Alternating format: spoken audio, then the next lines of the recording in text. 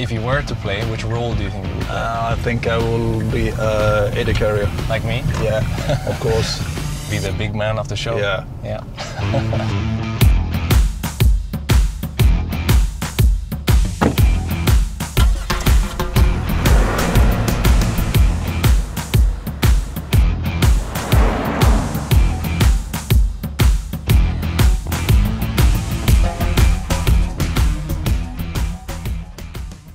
When I grew up, I used to play a lot of sports Yes. with my father.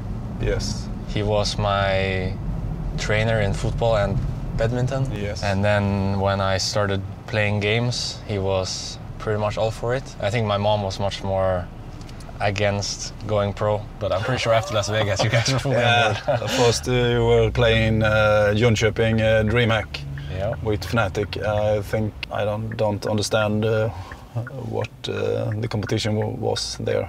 But uh, you come home with a computer and uh, some money, and then we realized that there was maybe a future in this for you. I understand that you were very good early, like you were in the school and in football. I know that you, when you are doing something, your goal is to be the best. So I was uh, not surprised.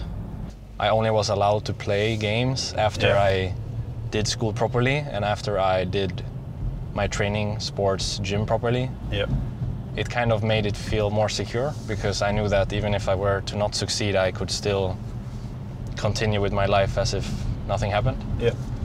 You you need to have some luck and uh, meet the, the right uh, persons and the right team.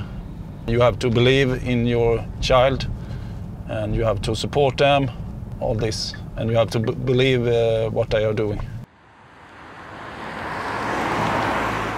I've seen uh, League of Legends uh, since about when you started 2015. Well, I, I played forever, but 20, 2015 was like my first Yeah. real years of playing. I have seen it. Uh, I, I think I've seen uh, almost all your matches on uh, Twitch, uh, wherever you are in the world. I think I understand today about uh, 90% uh, of uh, the games, but I have to listen a, lot of uh, the caster and uh, to understand what's uh, happening. But uh, I, I'm learning. But you know who's winning, Yeah, of course. and you know when I'm, gonna, I'm getting my pentakills. of course.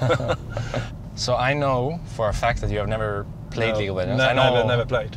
If you were to play, which role do you think you would play? Uh, I think I will be uh, AD Carrier. like me, Yeah, of course.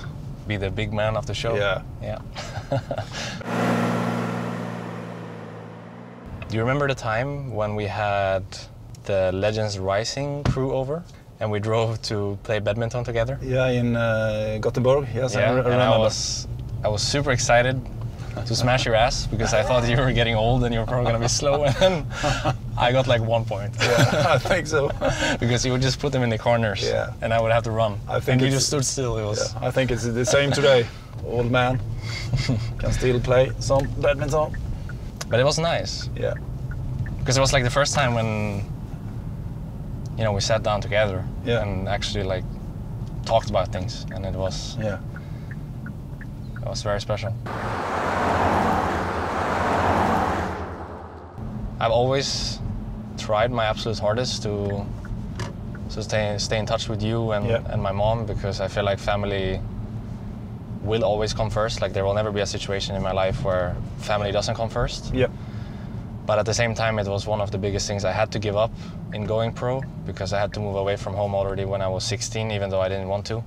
Giving up on family was probably the hardest part, but I feel like we've always done a good job in keeping Yeah. in touch. We've always had our Sundays where we talking. talk to each other for a, for an hour or something, and then whenever we're playing a big game, a finals, for example, you guys always come over and Yeah. support me. So I will always go on all the finals. Yeah. Where in where in the world?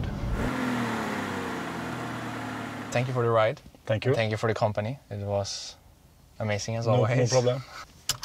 See you soon, I guess. Yeah, Yeah. hope so. Take care. I love you. See ya. Love you. Bye bye.